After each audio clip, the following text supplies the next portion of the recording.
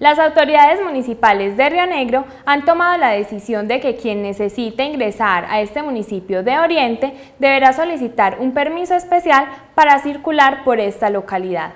Todas las personas que ingresen o circulen por el municipio de Río Negro y que no vivan allí deberán inscribirse y esperar el permiso que envía al correo electrónico el aplicativo web Juntos Nos Protegemos, que desarrolló la alcaldía y que se encuentra en coronavirus.rionegro.gov.co.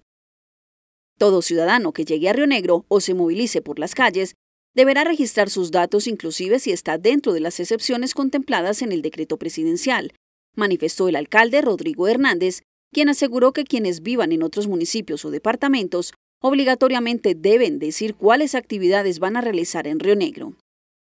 Para la movilidad de los habitantes del municipio se debe acatar la medida del pico y cédula, la que se mantiene vigente por el momento. El aplicativo es amigable con el usuario y se debe diligenciar para evitar recibir comparendos. A continuación, la lista de quienes deben diligenciar el permiso. Si una persona trabaja, va a ir a una cita o a una diligencia a Río Negro, se debe inscribir en el aplicativo. Si una persona va de un municipio a otro y debe pasar por Río Negro, obligatoriamente debe inscribirse en el formulario. Si usted está en otro municipio diferente y se va a vivir a Río Negro, lo debe diligenciar. Lo mismo si usted está en otro departamento o en otro país.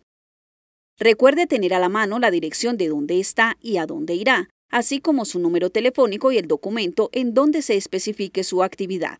Por ejemplo, si usted necesita ir a una cita médica a Río Negro, debe adjuntar en PDF la cita médica. Si por el contrario usted va a trabajar, debe adjuntar el permiso laboral de su empleador.